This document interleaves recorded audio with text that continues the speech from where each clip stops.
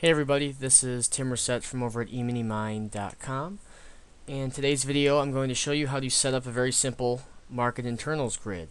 And so what you have in front of you is the breadth, uh, upper right is the advanced decline line, bottom left is the tick, and on the bottom right here is the ES, the E-mini S&P.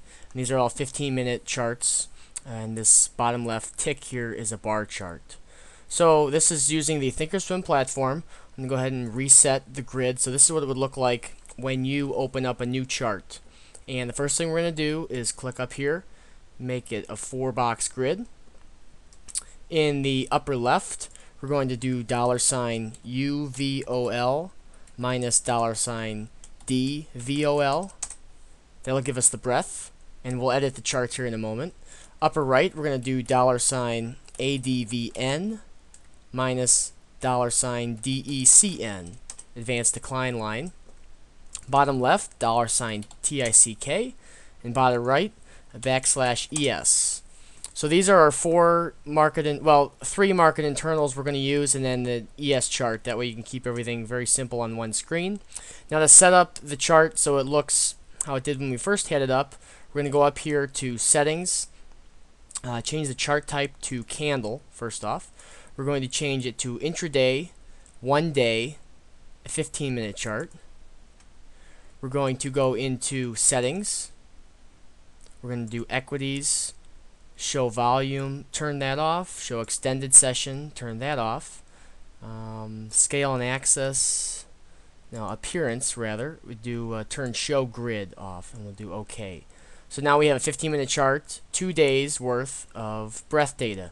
Now a little trick here is to do save style and we'll call this style uh, internals.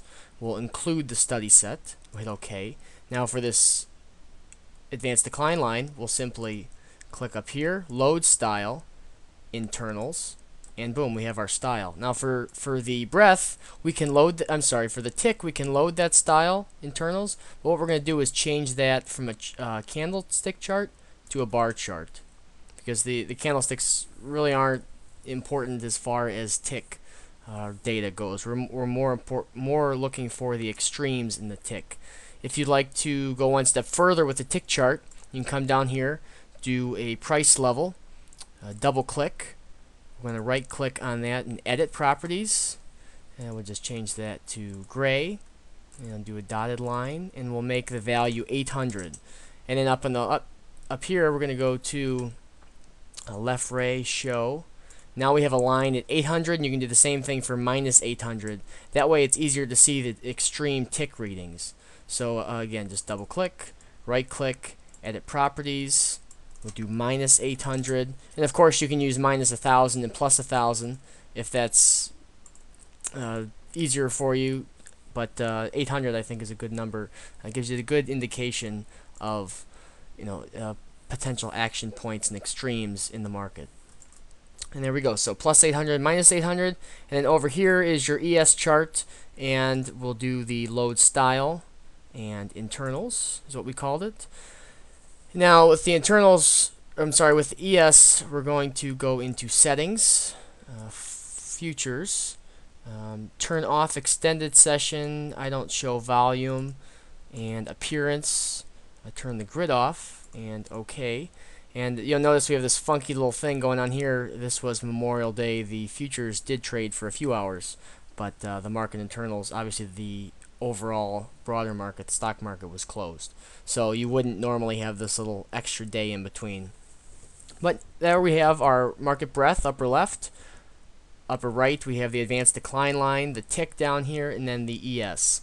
And so that's a nice clean way that you can uh, display your charts. One other trick, click on the wrench. We'll do show sidebar, turn that off. And there we have a nice clean market internals chart and you can have everything on one screen so you don't have to be flipping back and forth when you're trading the ES. And of course, you can make this, you know, YM, Russell, uh, whichever market that you're trading. So I hope that was helpful. Uh, if you liked the video, give it a thumbs up.